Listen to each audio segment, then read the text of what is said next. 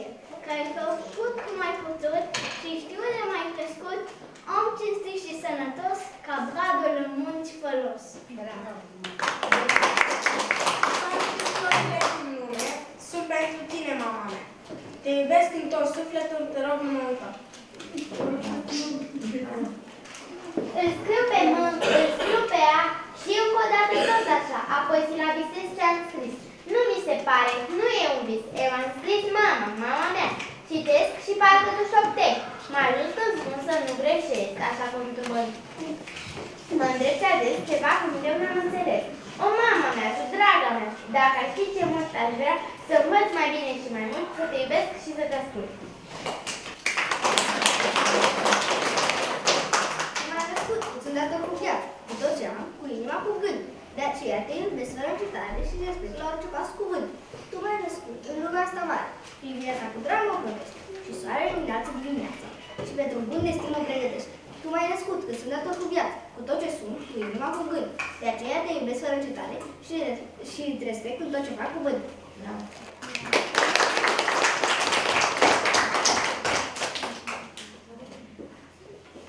Ce bucurie urcăm flori, când soarele răsare, când după ploaie, după nori, lumina crește în zare. Ce bucurie voi simți și eu în prag de seară, când după absența ta de o zi, vii mama acasă ea.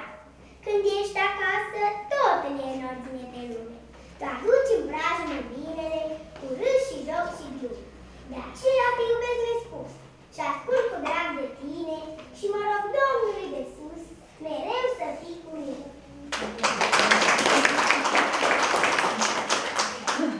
Mamă, tu m-ai născut, mi-ai dat tot ce am, viața, viața mi-ai dăruit, tu ești unde eu să am. Mama mea, n-am să... Mama mea, te iubesc și în inima am sfatul tău și în inima am chipul tău luminos, la durere basam. Mama mea, n-am să uit sfatul tău, vorba ta, o și unde prin timp tu rămâi mama mea.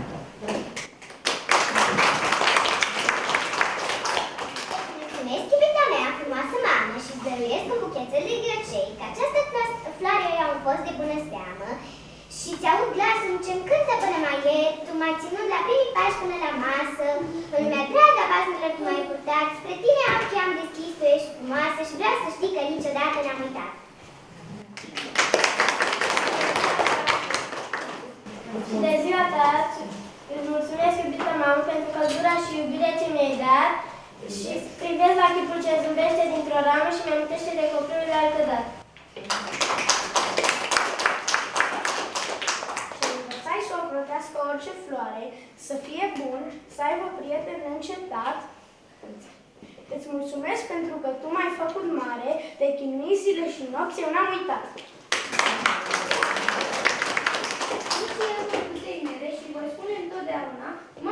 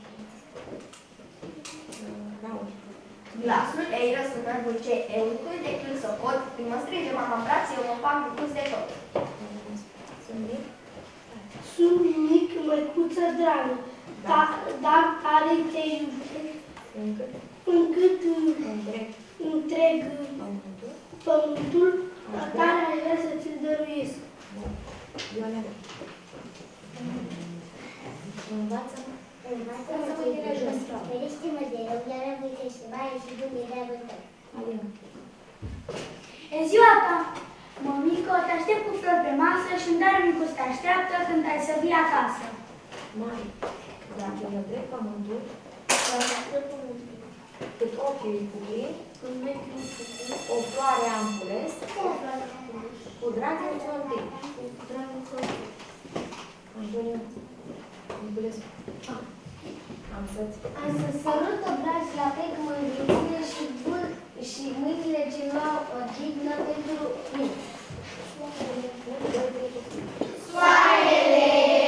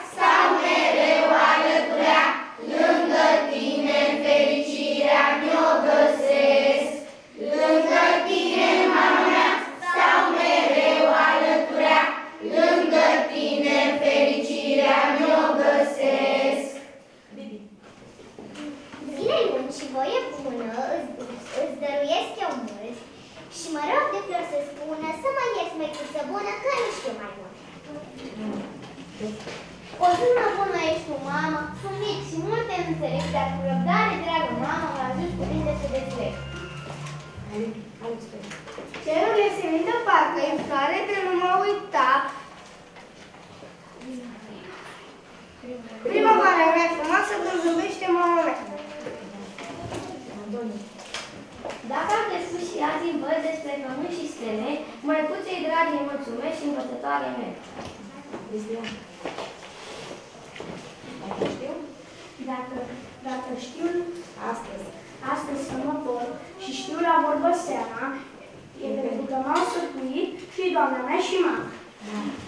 De aceea azi, când câmpul îmbracă haină nouă, le îmbrățișez și le sărut cu drag pe amândoi. La mulți ani și numai bine! Eu așa plănit să cresc, ca să vă mândriți cu mine. N-am să vă dezamăgesc.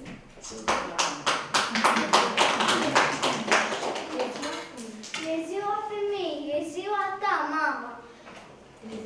E ziua chipului ce-l porți în ramă. Scoateți afară toate florile din glastre, că e ziua femeii, e ziua mamelor noastre.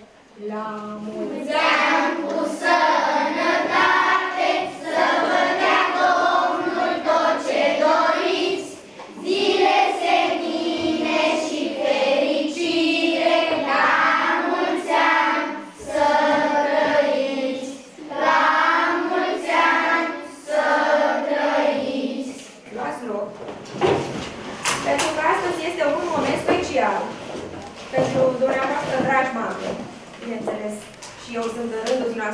eu sunt mamă.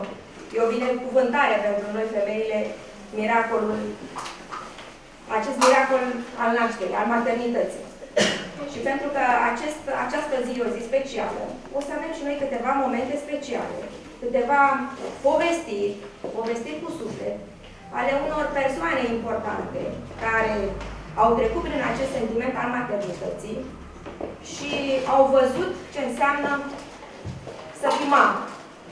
Și au, și-au dat seama că uneori au greșit și au reparat lucrurile pe care le-au greșit, în sensul că au, uh, n-au oferit atâta timp cât și-ar fi dorit uh, un copil și copiii sunt de cele mai multe ori mult mai inteligenți decât noi și simt și vibrează odată cu noi și ne înțeleg poate mai mult decât ne-ar înțelege o persoană adultă.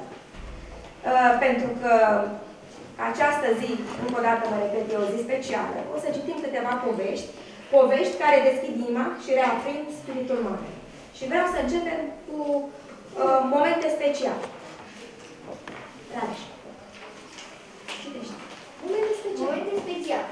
Nu treceți amintiri alături de copiii tăi. Petreceți timpul pentru a le arăta că îți pasă de ei. Jucăriile și zurgălăii nu pot înlocui niciodată aceste momente prețioase reciproc împărtășite. Dansează cu mine. Atunci când suntem tineri și visăm la iubire și la plinire, ne gândim adeseori la nopțile romantice petrecute la Paris sau la plimbările pe plajă. Nimeni nu ne spune însă că cele mai sublime momente ale vieții vin întotdeauna pe nepregătite și trec imediat, prinzându-ne cel mai adesea cu garda lăsată. Nu cu mult timp în urmă, pe când deciteam o poveste înainte de culcare fetiței mele, în vârstă de șapte ani, ani, i-am surprins privirea fascinată, alții închidă asupra mea. Se uita la mine, de parcă era în tranș. Se pare că povestea lui Samuel Miskers nu era atât de importantă pentru ea, așa cum creduse. Am întrebat-o la ce se gândește. Mami, mi-a șoptit ea, nu mă pot abține să nu mă uit la fața ta frumoasă. Am căzut pe spate. De-a lungul anilor care au urmat, astfel de afirmații spontane prin care își exprima iubirea față de mine, m-au ajutat să trec peste multe perioade dificile din viața mea. Peste mult timp, l-am dus pe fiul meu în vârstă de 4 ani, un supermarket elegant, unde am fost atras de sunetele melodioase ale unui cântec clasic de iubire, pe care îl cântau un muzician îmbrăcat în frac, în frac la un pian. M-am așezat cu Sam pe o bancă de marmură din vecinătate și am privit fața transfigurată de frumusețea muzicii. Nu mi-am dat seama că s-a ridicat de la locul lui, decât când mi-a luat fața în mânuțele lui, ca să atrag atenția și mi-a spus, dansează cu mine. Ah, dacă acele femei care se plimbă prin Parisul romantic ar cunoaște frumusețea unei asemenea imitate, făcute de un copil bucălat cu dinți de lapte, deși, de lapte. Deși vânzătorii s-au distrat pe seama noastră și ne-au arătat cu degetul, în timp ce ne învârteam în de dan, de, prin atrimul mare al supermarketului, nu i-aș fi refuzat niciodată un dans acestui gentleman perfect, chiar dacă mi-ar fi fost oferit în schimb întregul univers. Uite, mi-a strigat fica mea Daria, arătând un pui de uri care plutea prin aer. Mhm, am murmurat absentă gândindu-mă în continuare la programul de încărcare în acea zi. Dezamăgirea i s-a așternut pe față. Ce s-a întâmplat, scumpă? Am întrebat. Nimic, mi-a răspuns fetița mea în vârstă de șapte ani. Momentul trecut. Când ne-am apropiat de casă, ne-am uitat după căprioara albinoasă, care iese adeseori din pădurea deasă din spate, seara de mâine. De data aceasta era însă de negăsit. În seara asta are prea multe lucruri de făcut, am spus. A urmat cina, baia și foarte multe telefoane care mi-au umplut întreaga seară. Haide, Daria, a sosit vremea să te pun. S-a repezit pe lângă mine către scări. Obosită, am sărutat-o pe obraj, am învelit-o și am urat noapte bună. Mami, am uitat să-ți dau ceva, mi-a spus ea. Nu mai aveam însă răbdare. Lasă, o să mi-l dai dimineața. Ea. Ea a scuturat însă din cap. Nu o să ai timp dimineața. O să-mi fac timp, i-am răspuns defensiv. Uneori, oricât de mult aș fi încercat, timpul mi se scurgea printre degete ca nisipul dintr-o clepsidră, neajungând niciodată. Nu aveam suficient timp pentru ea, pentru soțul meu și mai ales pentru mine. Dar ea nu era încă dispusă să renunțe. Și-a încrățit nasul supărată și s-a scărpinat în părul castanin.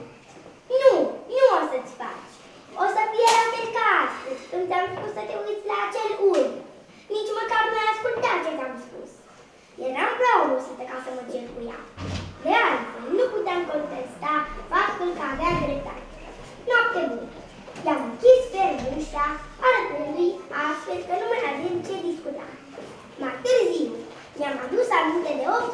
Paști și m-am gândit cât de puțin timp aveam până când va crește și va pleca de acasă.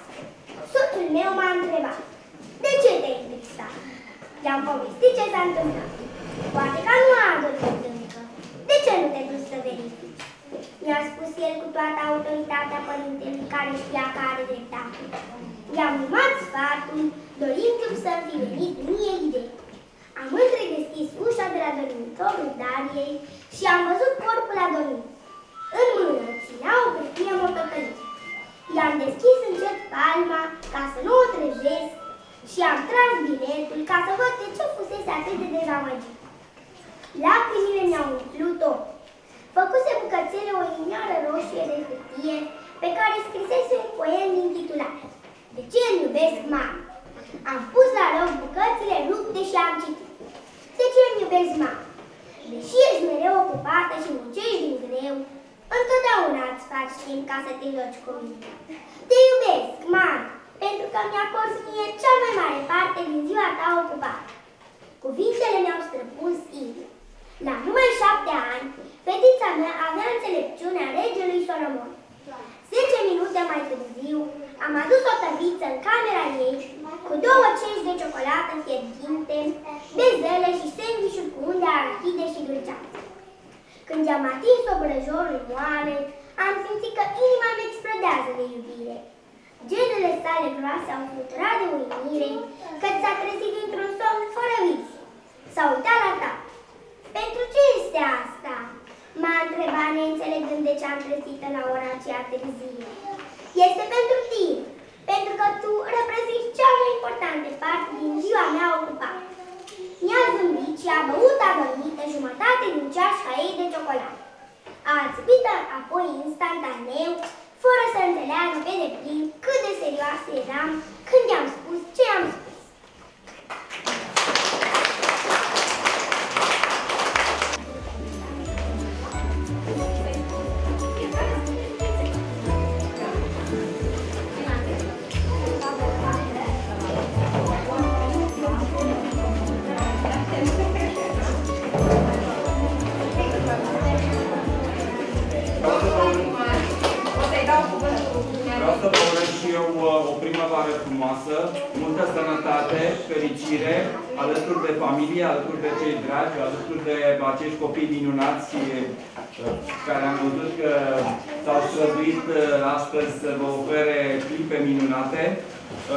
La mulți ani încă o dată pentru ziua de 8 martie și multă sănătate. Vă ofer și eu cu o floricică.